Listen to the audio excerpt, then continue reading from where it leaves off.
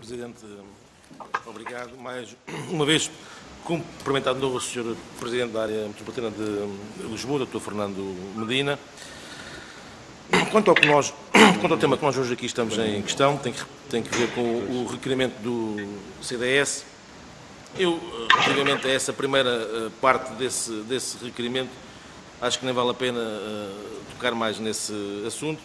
O assunto está resolvido, as uh, explicações dos, do, do Dr. Fernando Medina foram dadas, quer hoje, quer também nos órgãos de comunicação social, e, portanto, vou perder mais tempo com isto, nem contribuir para alimentar algumas mentes mais férteis por aí, por aí E nesse sentido, dizer o, o, seguinte: como o Sr. Presidente Fernando Medina aqui disse, e bem, a área metropolitana de Lisboa tem características muito, muito próprias.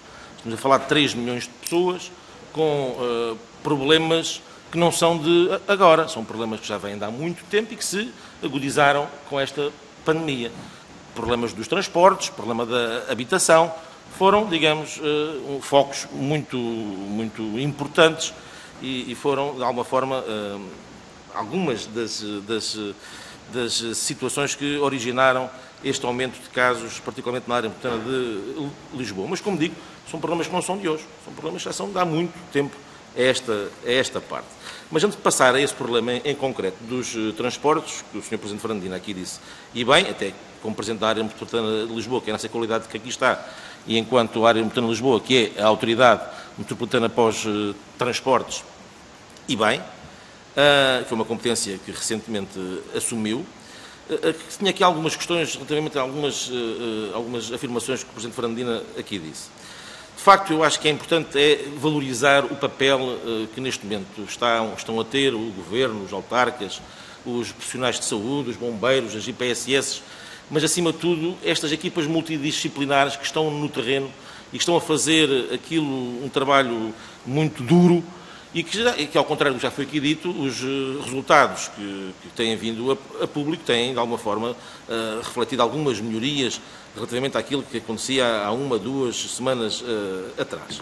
E, nesse sentido, o que eu perguntava era uh, duas questões muito concretas, porque é uma dúvida que, com que eu falo e, e, e é preocupante. O que me disseram é que a decisão da escolha destas 19 freguesias que continuaram em estado de calamidade foram decisões dos presidentes das câmaras. E, portanto, se isso é verdade ou se não é verdade, e com que base é que os presidentes da Câmara, nomeadamente, por exemplo, o de Louros, escolheu só Sacaveia e Prior Velho, Camarate, Apelação e Unhos. Ora, o que está a criar dificuldades muito grandes e está a criar problemas complicados ao comércio local, por exemplo, de e do Prior Velho, de Camarate, Apelação e Unhos. Um exemplo, a restauração em que as pessoas não podem ir jantar a um restaurante com mais de seis pessoas, mas andam 500 metros e já podem ir à freguesia do lado, que é a Bobadela, já o podem fazer. E, portanto, quem é que foi o responsável da escolha das freguesias de estarem em estado de calamidade?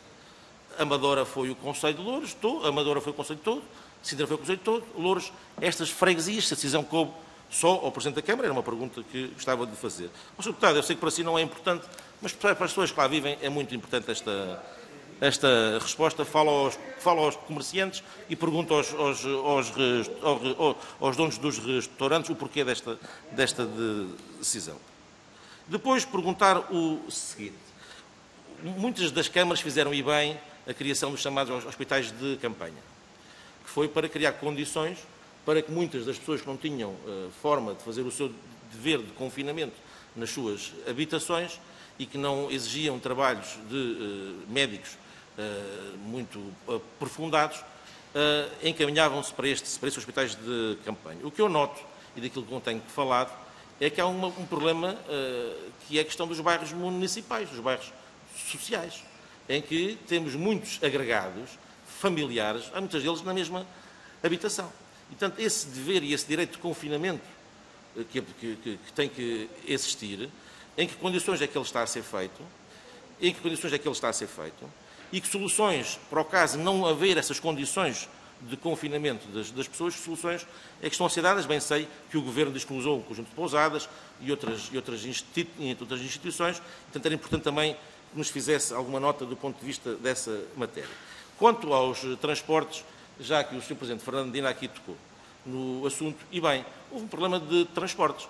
Quando uh, se começou com esta pandemia, o que facto é que a procura dos transportes públicos baixou na ordem dos 90% a 95%, originando quebras de receitas avultadas eh, nas, nas diversas transportadoras que operam na área metropolitana de Lisboa.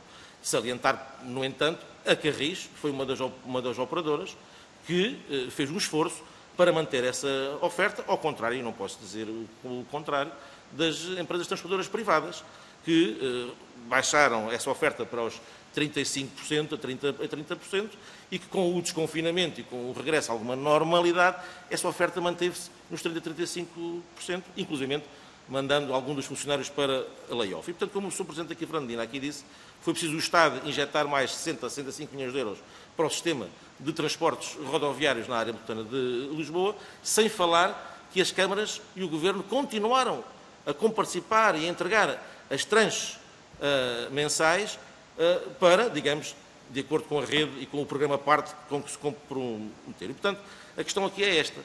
Há essa situação que agora se garante os 90% da oferta da rede de transportes rodoviários, eh, e começou a partir de 1 de, de julho, mas o que pergunta que eu lhe fazia era, sendo a área metropolitana de Lisboa a entidade, a autoridade metropolitana dos transportes, como é que está a ser feita essa monitorização dessa oferta, sabendo nós que existem carreiras e existem uh, horários muito mais sobrecarregados que outros. Olha, eu falo, por exemplo, em Sacavém, das seis e meia da manhã às oito e meia da, da manhã, as carreiras que vão para Lisboa estão sobrelotadas. E, portanto, é perguntar se há um olhar diferente para estas 19 freguesias em concreto, no que diz respeito a uma maior oferta da rede de uh, transportes, tendo em conta essas carreiras, tendo em conta os diferentes horários que, uh, que, que normalmente as horas de, de, ponta entre a manhã e entre a tarde. E, portanto, só para terminar, porque é importante para o futuro, já foi aqui falado, tem que ver com aquilo que o Sr. Presidente Fernandino ainda, ainda se referiu na, no, no, primeiro requerimento, ainda há pouco,